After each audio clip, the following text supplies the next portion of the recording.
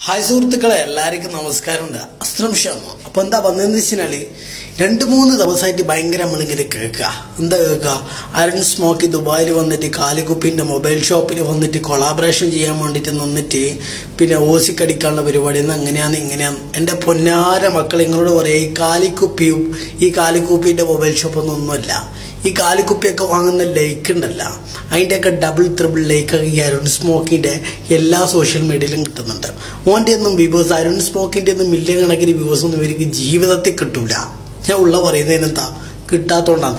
Arun smoky വന്നിട്ട് അവിടെ വന്നിട്ട് വീഡിയോ ചെയ്തിട്ട് ഇവരെ മറ്റേ ഷോപ്പ് പ്രൊമോട്ട് ചെയ്തിട്ടുണ്ടെങ്കിൽ ലെവൻ ത്രീ ഒരു അഞ്ചെണ്ണം കൊടുത്താലും മതിയല്ലോ അമ്മാര് ബിസിനസ്സൊക്കെ ഉണ്ടാവും.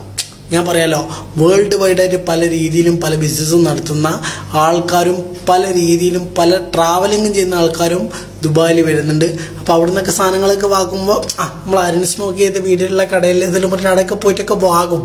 അതാണ് അരുൺ സ്മോക്കിന്റെ പ്രത്യേകത. നിങ്ങൾക്ക് പറ്റൂലെങ്കിൽ പറ്റുന്ന പറ ഇല്ലെങ്കിൽ ഇല്ലെന്ന് പറഞ്ഞിട്ട് വിട്ടുകളയാ അല്ലാണ്ട് ഈ സോഷ്യൽ മീഡിയയിൽ വന്നിട്ട് ഇമാരി ഡയലോഗൊക്കെ അടിച്ചിട്ട് ഇങ്ങനെ താത്തിക്കെട്ടിട്ടൊന്നും കാര്യമില്ല. അരുൺ സ്മോക്കി വേറെ ലെവലാണ് the best amazing most brilliant of the powerful man of the world Arun smokey എന്ന യൂട്യൂബർ ഇത് പറയുന്നത് ആരാറിയാ അസ്ലം ഷാം.